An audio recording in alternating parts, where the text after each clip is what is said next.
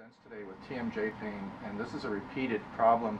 And um, she comes with uh, myofascial pain as well, and that's an ideal uh, situation for treatment with light therapy. So what we have today is uh, a light therapy handpiece, a laser handpiece, and this is from the only laser that's been approved in North America for pain therapy and for wound healing.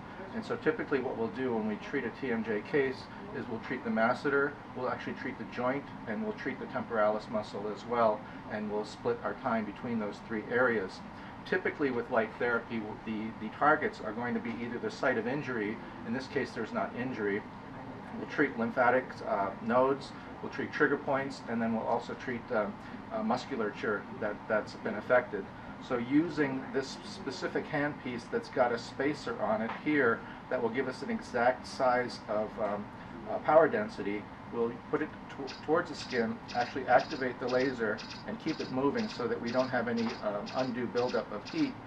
And then as we move to the three different areas, we need to keep in mind that in some patients where they have uh, darker skin or darker hair, those are going to absorb this laser energy because this is a dark um, seeking pigment uh, laser.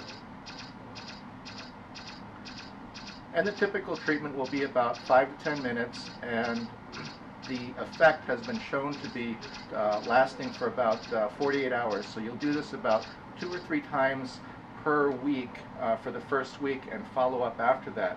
Typically with the light therapy, there's either high power or low power, and uh, the low level laser is the more uh, popular because it's more for wound healing and it goes all the way down to the, the cellular level to assist with wound healing and um, uh, cell propagation. But in this case, we would be using high-powered laser because high power is associated with an analgesic effect.